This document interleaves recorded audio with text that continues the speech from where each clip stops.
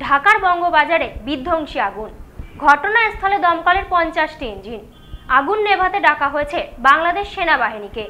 হেলিকপ্টারের সাহায্যে ছেটানো হচ্ছে জল। প্রায় পাঁচ হাজার দোকান ক্ষতিগ্রস্ত। ভয়াবহ অগ্নিকাণ্ড। বিধ্বংসী আগুনে পুড়ে ছায় বাংলাদেশের বঙ্গবাজার। বঙ্গবাজারের পাশে থাকা বহুতল অ্যানেক্সো টাওয়ারেও আগুন ছড়িয়ে পড়েছে। চলছে রমজান মাস। দেশের বিভিন্ন প্রান্তে রমজানে মেতে উঠেছেন সকলেই। পাশাপাশি বাংলাদেশেও রমজান মাস ধুমধামে পালিত হচ্ছে। তার মধ্যেই বিধ্বংসী আগুনে ভস্মীভূত হয়ে গেল বঙ্গবাজার। জানা গেছে, বাংলাদেশের রাজধানী ঢাকার ফুলবাড়িয়া বঙ্গবাজারে মঙ্গলবার ভোর ছটা নাগাদ আগুন লাগে। মুহূর্তেই সেই আগুন ছড়িয়ে পড়ে গোটা এলাকায়। বঙ্গবাজারে টিনের শেড দিয়ে ঘেরা মার্কেট। এমনকি রাস্তার আশেপাশেও আগুন ছড়িয়ে পড়ে। পাশাপাশি বঙ্গবাজারের পাশে থাকা বহুতল অ্যানেক্সকো টাওয়ারেও সেই আগুন ছড়িয়ে পড়ে। জানা যায়, মার্কেটে যেহেতু প্রচুর পরিমাণে শাড়ি কাপড়ের দোকান রয়েছে, সে কারণেই মুহূর্তে আগুন ছড়িয়ে পড়েছে গোটা এলাকায়। শুধুমাত্র শাড়ি কাপড় নয়, মানুষের নিত্য প্রয়োজনীয় জিনিস থেকে শুরু করে আসবাবপত্র সাজ পোশাকের জিনিস, সমস্ত কিছুই পাওয়া যায় এই মার্কেটে। আগুন লাগার ঘটনায় সেসব আর কিছুই অবশিষ্ট নেই। আগুনে পুড়ে সব ছাই হয়ে গেছে। আগুন লাগার ঘটনায় তড়িঘড়ি খবর দেওয়া হয় দমকলে। একে একে দমকলের পঞ্চাশটি ইঞ্জিন কাজ শুরু করে। আগুন নেভাতে রীতিমতো হিমশিম খেতে হয় দমকল কর্মীদের।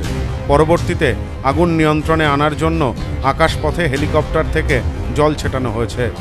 শুধু দমকল কর্মী নয়, আগুন নেভানোর কাজে দমকলের সাথে কাজ করেছে নৌবাহিনী ও বাংলাদেশ সেনাবাহিনীর জওয়ানেরা। আকাশপথে তোলা ছবিতে দেখা যাচ্ছে বঙ্গবাজার এলাকা জুড়ে শুধুই আগুনের লেলিহান শিখা।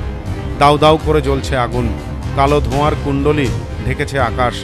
সর্বস্ব হারিয়ে শুধু বুক ফাটা কান্নার আওয়াজ। ভোর রাতের আগুনে এভাবে সব ছাই হয়ে যাবে স্বপ্নেও ভাবেননি কেউ। দীর্ঘক্ষণ পরেও আগুন নিয়ন্ত্রণে না আসার কারণে রীতিমতন ক্ষিপ্ত স্থানীয় ব্যবসায়ীরা। সূত্রের খবর অনুযায়ী প্রায় পাঁচ হাজারেরও বেশি দোকান ক্ষতিগ্রস্ত হয়েছে। জানা যায়, বাংলাদেশের প্রায় সকল ব্যবসায়ীরা এই বাজার থেকে পাইকারি পোশাক কিনে বিক্রি করেন। রমজানের শুরুতে ঈদ উপলক্ষে প্রচুর মাল মজুত করা ছিল ব্যবসায়ীদের কাছে। বিধ্বংসী আগুন লাগার ঘটনায় তা সব পুড়ে ছাই হয়ে গেছে। তবে এই বিধ্বংসী আগুন লাগার ঘটনায় আহত বা হতাহতের কোনো খবর পাওয়া যায়নি। কীভাবে বা কোথা থেকে এই আগুন লাগল, ইতিমধ্যেই তার তদন্ত শুরু করেছে পুলিশ। পাশাপাশি বাংলাদেশের প্রধানমন্ত্রী শেখ হাসিনা আগুন লাগার খবরের বিষয়েও নজরদারি চালাচ্ছেন। ঈদের আগে ভয়াবহ অগ্নিকাণ্ডের ঘটনায় বিপুল পরিমাণ ক্ষতির মুখে ব্যবসায়ীরা। বিপুল ক্ষতি সামলে কীভাবে ফের ছন্দে ফিরবেন, এটাই এখন বড় চিন্তার সব হারানো মানুষগুলির। Bureau report, news no man's land Bangladesh.